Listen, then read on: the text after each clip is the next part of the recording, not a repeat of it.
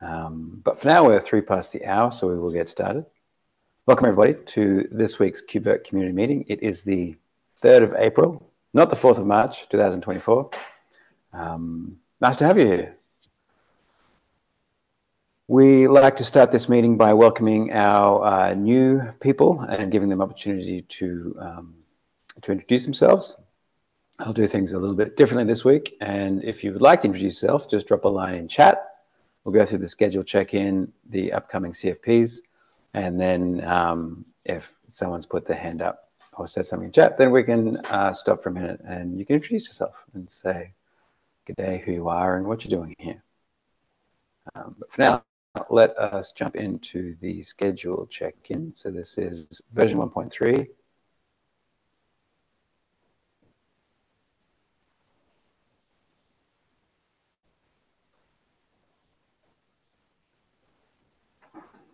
my enormous old man Zoom. Okay. So the Cube, uh, the Kubernetes release 1.30 must be coming up real soon. Uh, two weeks time. Yesterday, no, two weeks from today. And after that, we'll begin our um, tag alpha creation and CI lanes. Um, it's probably worthwhile pointing out that June feature freeze, 12th of June, and GA in on the 3rd of July. Um, and I haven't put it on, but we'll get to it in a second. Uh, Summit is between those two dates.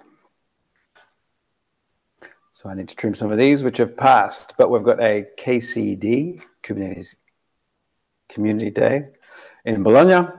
Uh, that's due tomorrow. So if you're going to be in the north of Italy um, in June 20th and would like to submit, there's the details there. We've got DevConf uh, US, which will be in August. That's coming up in less than a week. And KubeVirt Summit, uh, June 25th, 26th, and CFPs are open until May 20. Um, and yeah, we've got Daniel Hiller will, will be presenting at DevOps Pro Europe on May something between the date of the 20th and the 24th. I don't think he's here because he's on holiday. Alrighty. Uh, no one has offered to introduce themselves, which is unsurprising because I think we're all familiar with this meeting looking at the names. We have nothing on the agenda. But we do have uh, some stuff turning up in the open floor. Um, so this is a new design proposal that came up, I think, this week from the networking team. Network binding plugin. Is my screen, is it too big? It feels too big. No, it looks fine. Yeah, yeah? it's okay. Um, all right, downward API for device info. I think this has had um, judging by my email notifications, a huge amount of conversation happening uh, today. Um, so yeah, this also came up in yesterday's API meeting, if I'm not mistaken. Uh, so extending the network binding plugin. Um, we've also got a new adopter. Uh, the last time I checked this, it had not been approved, but maybe someone would like to take a look while we're all here. It is S3NS. And we did have a chat to them uh, a couple of weeks ago at uh, KubeCon. Super nice. Uh, it is still open. So uh, if anyone here has reviewer or approver rights, um, I think this is uh, worth looking at. And we've got the SIG Observability Charter. Um, you've said just noting, but did you want to say anything about it?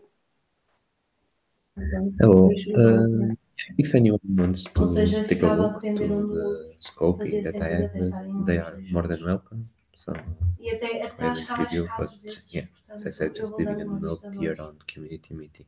I already also sent an email about this to the mailing list, so I expect most of, most of the traffic to come from there. Yeah. Thank you. Thank you. Uh, yeah, I, uh, someone can correct me if I'm wrong, but I don't think yet any of the SIG charters have been merged, have they? Uh, I saw a couple of them on community hub already, but uh, yeah, I think at least four or five are still open. Okay. All right. Um, we don't have any pull requests that need attention that I could see. Um, so we'll jump into the mailing list review. CDI version 1.59 has been released. Uh, there is a link there to the release notes. Uh, Alex, you're here. Um, you sent out that email. Would you like to give us a quick uh, run through if there's anything that's not already in this note here? Uh, yeah, just the notable additions. We have a PVC mutating webhook that would just um, autocomplete the storage capabilities for you. So that's a feature to check out.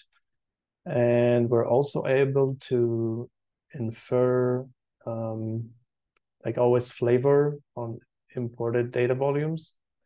We kind of do like a, we have this cool idea uh, by Felix that we could just have uh, environment variables set on the image and then we could take those and just propagate them into like Kubernetes labels. And that's basically means we now know more stuff about um, VM disks than before. That is cool. That's all.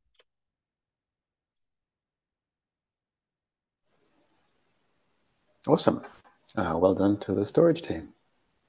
Um, and I'm sure that is not all because I did have a quick look at the release notes and there's lots more than just that. Yeah. Um, so, so check it out. Click the, click the link. Um, we had a question on the mailing list, I think it might have been yesterday, about uh, to support VDK. Uh, I had to look up what VDK is, and I presume it's the virtualized developer kit.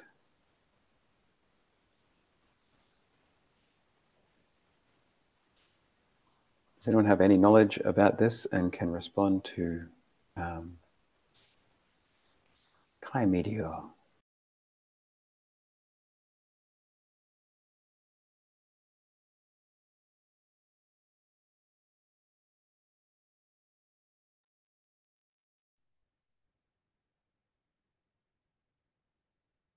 Mean, we don't use VDK. We can't use those directly, but you can like convert a, a VDK can be converted or imported to be used in KubeVirt to a different format.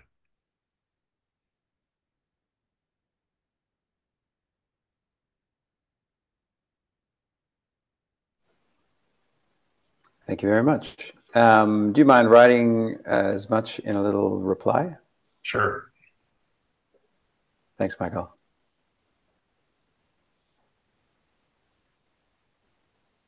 Alrighty, and that one bug that I promised. Uh, this was also, um, what do they call it? They called a cross post on the mailing list.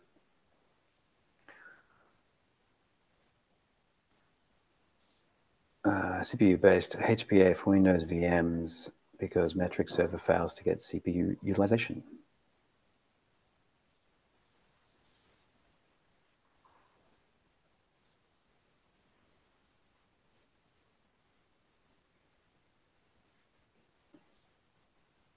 So which one of you lovely people um, has their curiosity piqued by this one and would like to take it on?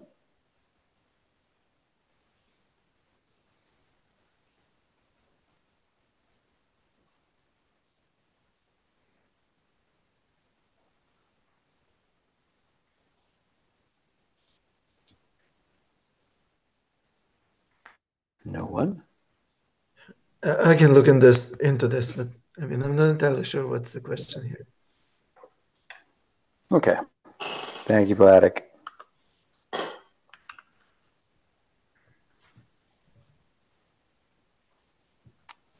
Oh, I need to CC you. There we go.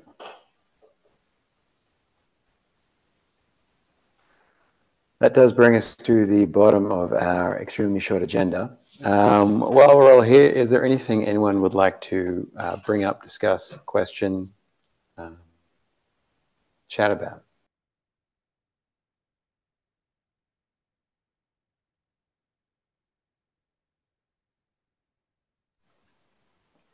I'll take that as a no. So I will bring up something, but I promise I'll make it quick. Um, I did mention it before, but uh, Summit. Um, by all means, I'd love to see a lot of um, uh, talk proposals from people within the community.